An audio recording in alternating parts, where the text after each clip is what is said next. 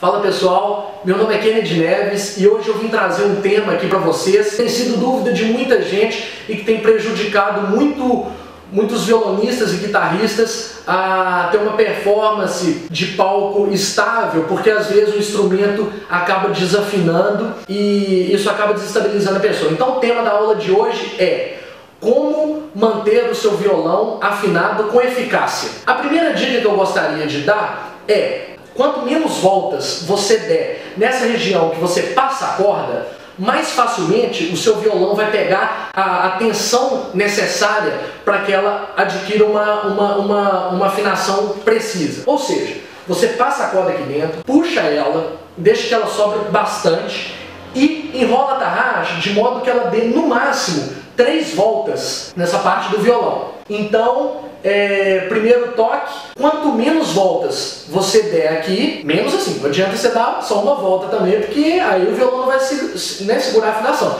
Mas se você der três voltas, eu acho que é o ideal e necessário, você vai conseguir com que você vai conseguir fazer com que seu instrumento não, não perca a afinação. Você acaba de afinar, você toca uma música, passa dois minutos, o violão já está desafinado. Então isso aí é uma dica muito importante que eu acho que vai facilitar aí para muita gente. Segunda dica que eu gostaria de dar é, quando você for afinar uma corda, sempre que você for manusear a tarraxa, seja para apertar ou para afrouxar a corda, dependendo de, de, de como está a relação de afinação entre as cordas, é, o conselho que eu, de, que eu dou é, a cada vez que você manuseia a tarraxa, você puxa as cordas do seu instrumento de forma que você estique elas e aos poucos ela vai chegando na tensão ideal. Porque a corda muitas vezes ela desafina, por quê?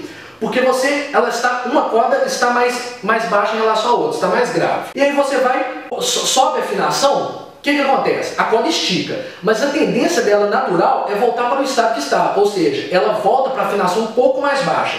Então, para você sempre esticar a corda e, e, fazer com que a afinação sempre chegue o mais rápido possível, o mais eficaz possível, o que eu aconselho é puxe a corda a cada vez que você for manusear a tarraxa. Vou dar um exemplo.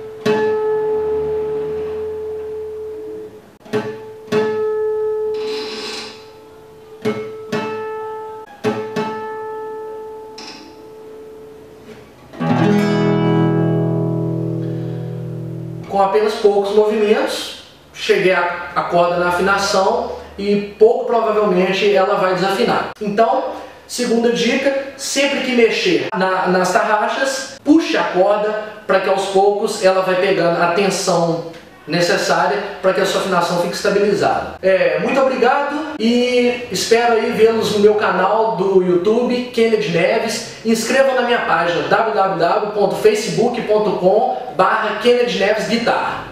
Até uma próxima!